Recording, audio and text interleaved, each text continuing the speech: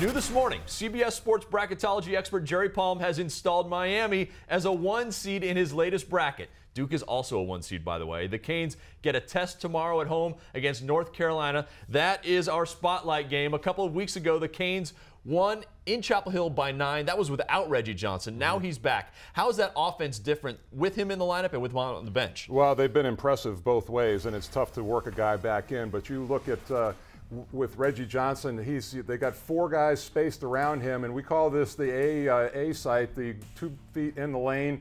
You can't play behind him in this situation. Too easy of a catch right here.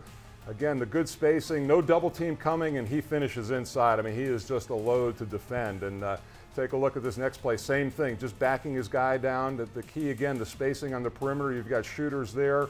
The nice entry pass, one bounce and a finish, and uh, you know they are reincorporating him into the offense. Now, without him, they really remade themselves with Kenny Kadji, who is a stretch four. He starts out on the post on this play. They like to run the screen roll up top with Shane Larkin and Gamble, and you see Kadji replace right behind him. He has the ability to knock down the three and spread defenses.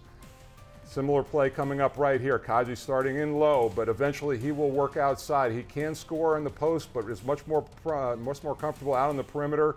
The kickback and uh, you know, now they can play two different ways, one with Kadji and one with Reggie Johnson. You know, I was watching that tape, watching Reggie Johnson, six foot 10, 290 pounds, basically walk his way into the lane and just create space. Yep. You're a big man who's had to battle all kinds of big men. What do you do with a guy who's such a wide body and you have to defend him down low? Well, the key thing, Jeff, is you've got to do your work early and meet him up top, make him battle for a position, and hope over the course of 40 minutes that he doesn't quite fight as hard, and you need to get him out of the lane. I think that's the key part. Not very easy though, right? No, easier said than done. That's right. So Miami wears you down with size. Carolina likes it up tempo. Roy Williams teams like to run. That's how they get their best looks, really. Yeah, and, and that's been a work in progress this year. And uh, we'll take a look at uh, at the film and see how this team scores. Now, interestingly enough, this first one against Boston College, you say James Michael McAdoo starts from behind the end line and just beats everybody down the floor. Now, the key for the point guard here, he has to look up. If he sees like he has numbers, he'll push the ball up the floor, and that's just great hustle by McAdoo out in the open floor. This next shot is a little bit more of a traditional break. They're going to find Marcus Paige, and, and a lot of times North Carolina will be a right handed team. You'll see him come up the right side of the lane. McAdoo again sprints inside to the low block, and it opens up the three point shot on the run for Reggie Bullock.